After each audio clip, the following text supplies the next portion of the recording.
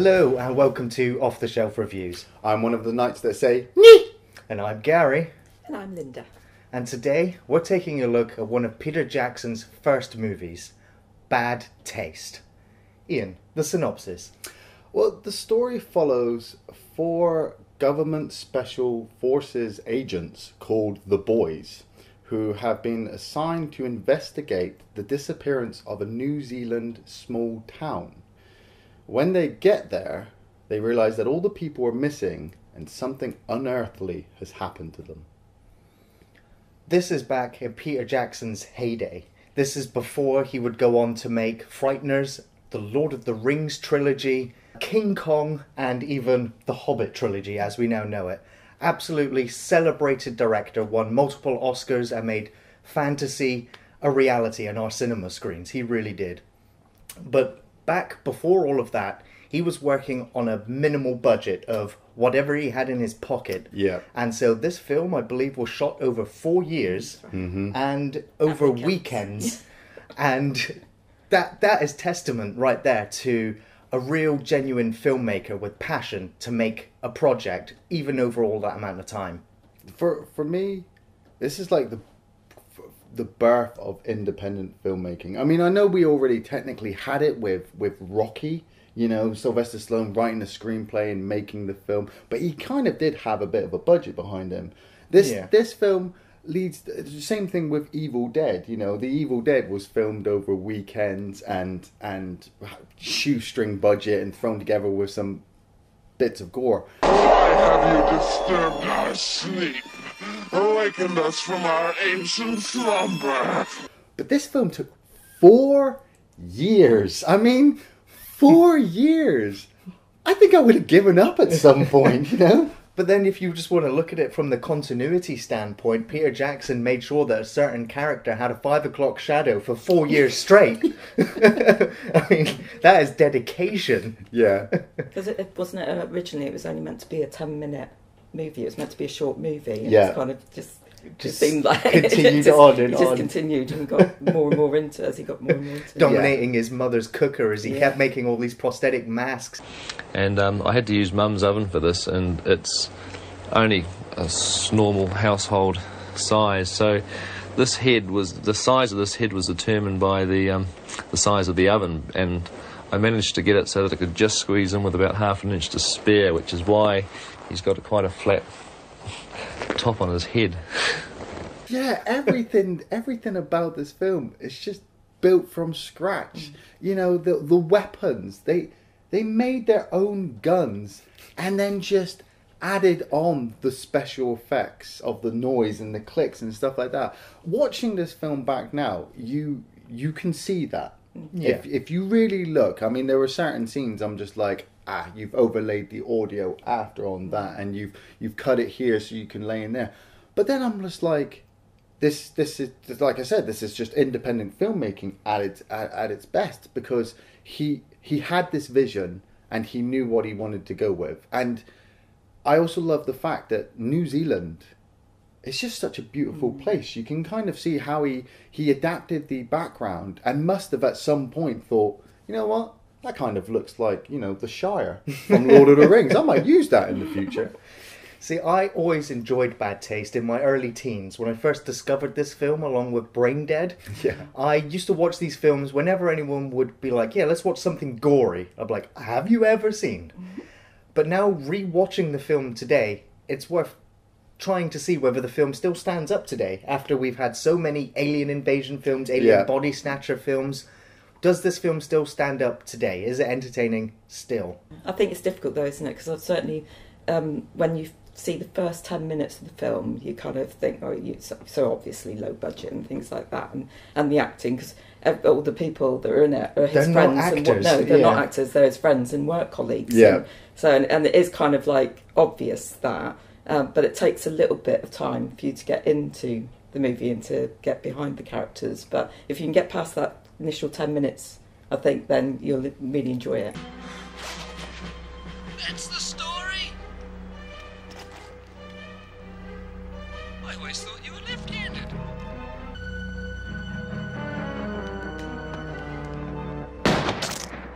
it's the accents. As soon as they start speaking, I'm just like, oh, it's kind of kind of makes me cringe, makes me feel. It kind of just feels silly. It almost feels like a cartoon. No, but the then accents are amazing. no, no, I, I get. I also agree. The accents are amazing. It just takes a little while just to get used to that sort of audio. Yeah, and yeah. then once you get into it, you're fine. This isn't going to be another false alarm like the Menace Street invasion alert, is it?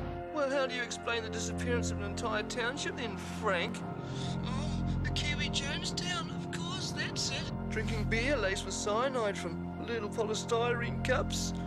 Um, I think that obviously Peter Jackson plays two parts in this film. Yeah. and of course Derek is for me the title character of this film.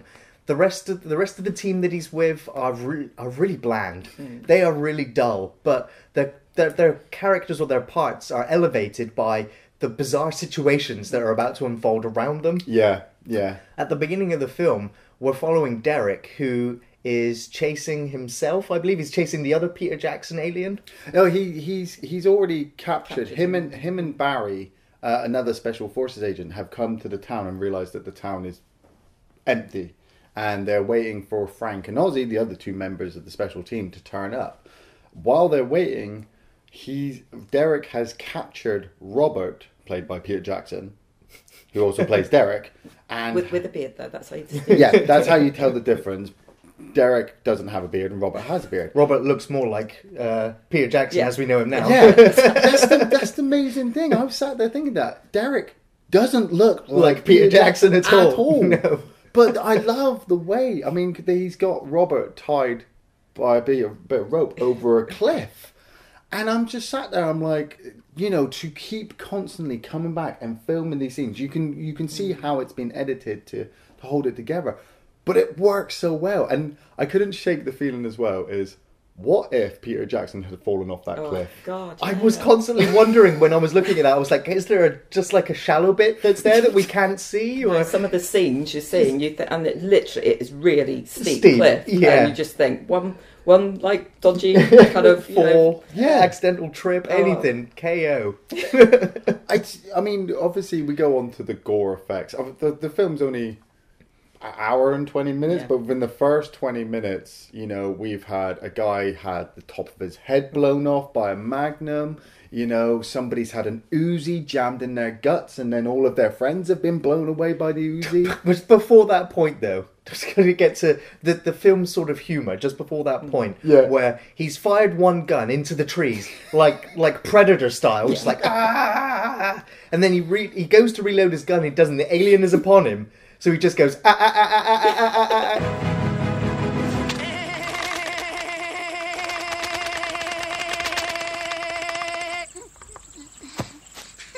And the alien's just like, oh, what? Uh, uh, uh, Aw, you got me. I'm just like, Love that sequence. I so just goofy and silly. Sorry. But it's like when he goes in, he actually does reload, and that guy comes, and there's that whole fight sequence with the sledgehammers. I really like how that was filmed because they're not they're not stunt stunt guys. They're just friends with sledgehammers, and it's all primed and timed of how they're going to hit. And he shoots one of their arms off, drops the sledgehammer into the other guy's head. Eat lead, sucker!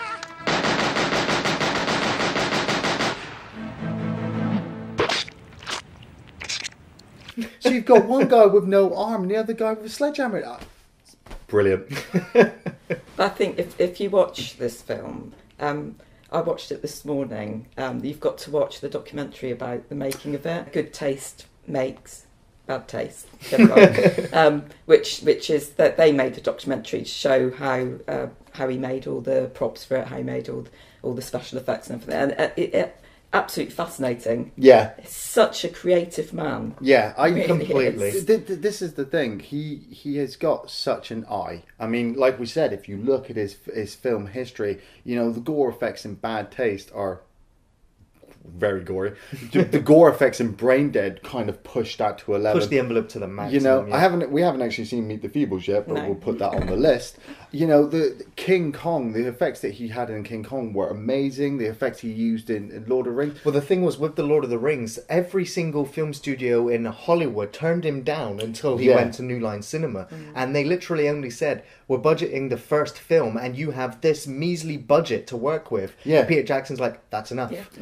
Bad Taste was made with great enthusiasm, but very little money. The world holds its breath for Peter Jackson's second feature. Obviously, going back to the film, you know, the special forces guys have finally turned up, and Derek, unfortunately, has taken a tumble off the cliff. You know, we we've seen in from from this point all the way through to today, we've seen some terrible mannequin shots taking falls out of buildings, off off elevators, all sorts. And when this mannequin goes down, I'm just kind of like, it what?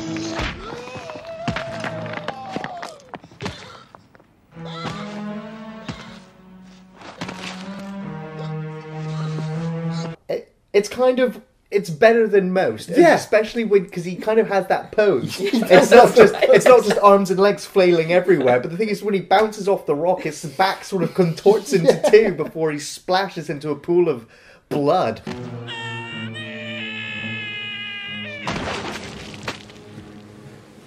Now, for me, when Derek dies at that point, as we're led to believe, we followed the rest of the the EDF, if you will, the Earth Yeah. Defense Force, and they have conversations like, "Yeah, we're even supposed to defend the moon."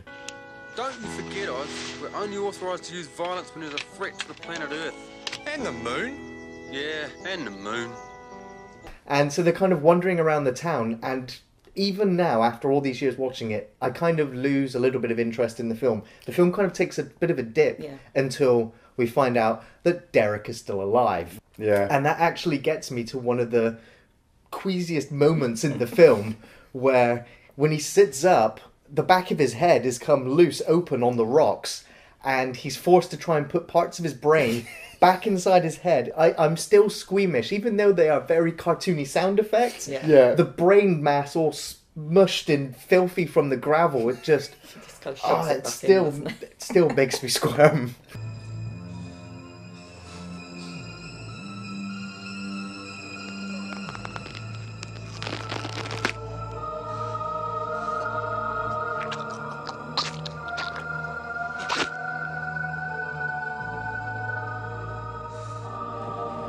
I, th- th- this is it. I mean, obviously, the three other special forces guys are kind of.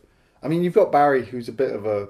I don't know. He's a bit of a weed. Really, he doesn't really want to get involved in any aggressive actions. But then you've got Frank and Ozzy, especially Ozzy. Ozzy's just a, a He just wants to blow shit up. He just wants to blow shit up. You know, and they are, like you said, they are a, a bit bland, but we know we know they weren't actors. You know, they Yeah. were they were trying to play parts on a low budget over a four year weekend, you know, long weekend, which would be difficult for anybody. Derek, obviously by Peter Jackson, is that just continuous hero. Mm. Even when he is having to pick up the brain bits off the floor and stick them in the back of his head. For me, Derek has a lot of the humor and a lot of uh, Peter Jackson in him that I see in specific, specifically Brain Dead. All Yeah. of the humor that Derek has Yeah. is what the entire film of Brain Dead literally revolves around. Yeah, and it- I mean it does it does get a bit slow when when they're when they're moving around the alien house. But I I love the I love the interaction with the aliens. I mean the head alien you know, we we we Lord found Crumb? out. Yeah, Lord Lord Crumb. We we only found out when we were looking up the notes is that he he did he passed away Yeah. the very same year the Bad Taste was was, released. made. Mm. But his voice, you know, and his just his just presence on screen is quite memorable. You know. I suppose you're wondering why you're soaking in Reggie delivered secret herbs and spices. Tomorrow we're having you for lunch. even before he gets all the makeup on and all the aliens come out with their big asses and weird shoulders and I love the speech that he does when he talks about all the other fast food chains and they talk about planets and delicacies that just mean nothing to us. But what are they? They are um, crumbs. Crumbs Crunchy Delights, I think it is. Yeah. Because that's basically it is, and is the reason why the aliens have come to Earth is to use humans as their fast food. Yeah. Um, so that's kind of like the reasoning behind it all. Just it? remember But- seeing all the stuffed bloody boxes in Yeah. the corner of that's the rest of the town. It's just like, and then one of the EDF guys like, yeah, it's time to clean it up, and he's there cleaning up all the mess. Just like, why? I love that sequence. He just, it's, that's Barry. He's, he's just such a nice guy. He gets the mop out and just starts mopping the floor. And then the other guy comes in and they cut off his head. yeah. yeah. God's sake, guys, keep it quiet. Shut up, man, quiet.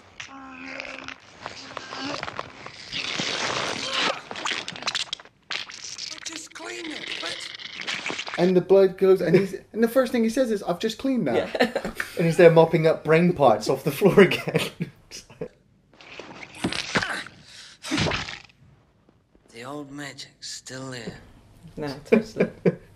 I think you've also got to talk a bit about the um, locations of this film as well, because it was set north of Wellington, which Yeah, is in yeah. Pete Jackson's hometown, and uh, there are some like stunning kind of areas in that. But the house itself, remember when we were watching it, you said about oh, it's an amazing house. Yeah. It's actually a colonial house, and they had to get permission from the caretakers. It's kind of like a, so it's like a bit like a listed building in this Yeah. country, Yeah. um, where it's it's protected and things like that. But the caretakers happen to be friends of Peter Jackson's parents, and allow So, them to blow yeah. it up with the rocket Well, launcher. they didn't. See, that, that's where it's so clever. There's actually three versions of that of house. that same house. You Yeah. can't tell at all.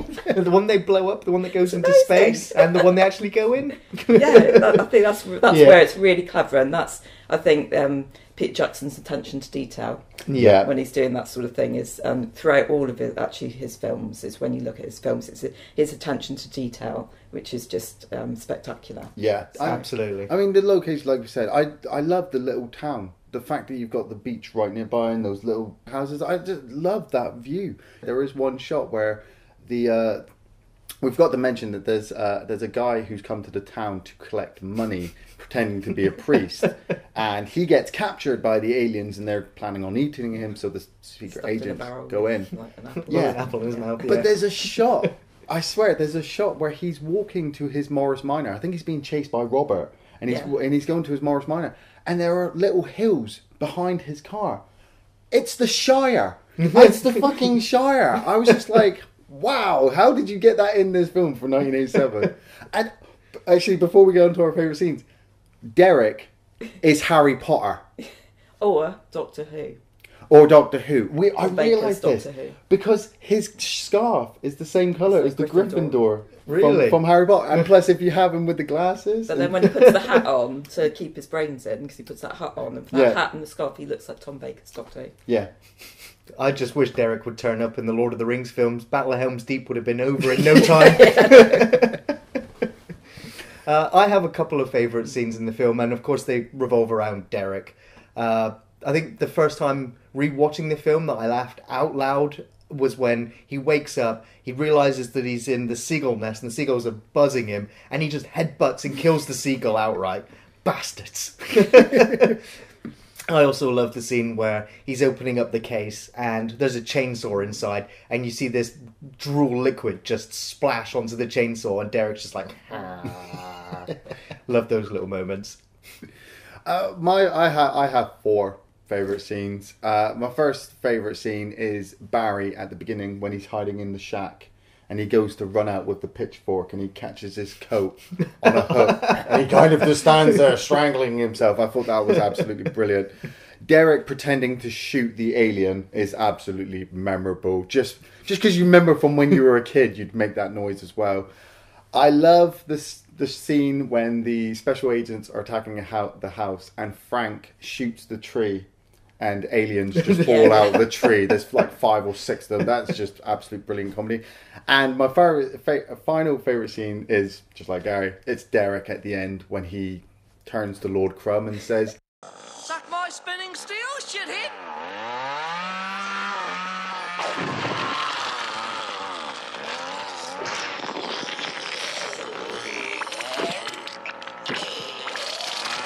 chainsaws through his head.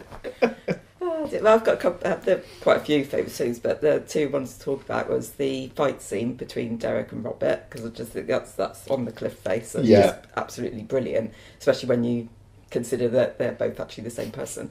Um, and uh, but the other scene is the vomit scene. Oh god, yeah. it's, it's just so it's so gross, but so kind of mesmerising, and it's the bit where basically Robert's been positioned, held, and he's vomiting this green stuff. It's just like seems to be endless vomit coming out in, in a in a bowl, and and then the shock though is that. They go and eat it.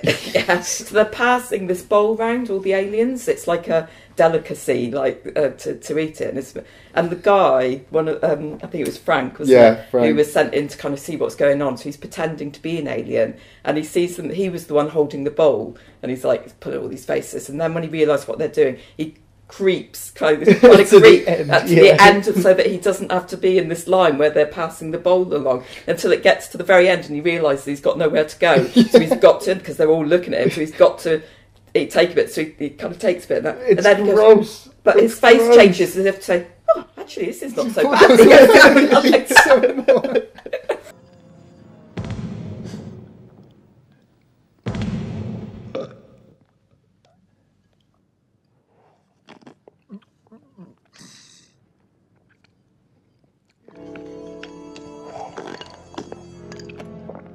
Was like, oh my god. that is one of the grossest moments in the film, eating of from a vomit bowl. But I was trying to think like how these aliens actually work. I was trying to, and I was thinking so that they eat humans, obviously, Right. because we've seen one eating the top of his Yeah. head with a spoon. No, so they'll no, eat it raw. No, yeah, he would.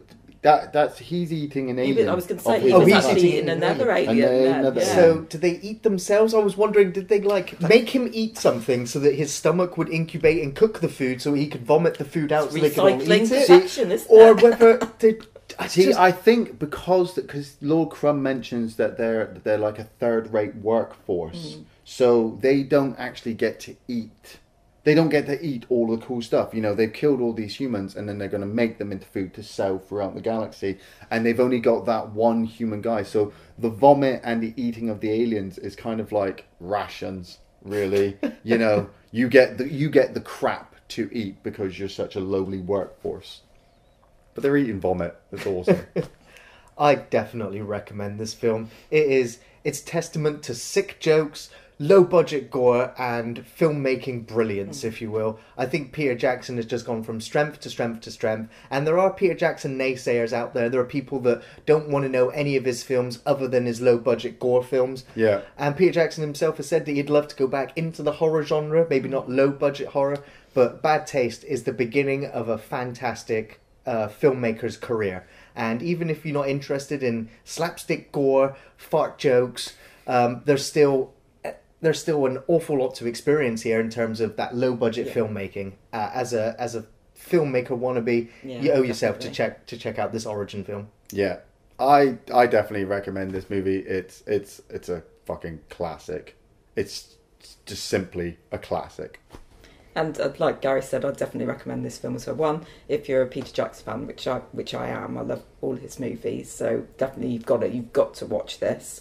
But also, like you say, if you are that would be filmmaker, if you were if you kind of aspire to be the next Peter Jackson and really interested in visual effects and things like that, definitely you've got to see it. Yeah. Thanks for watching Off the Shelf Reviews, bastards. We've got the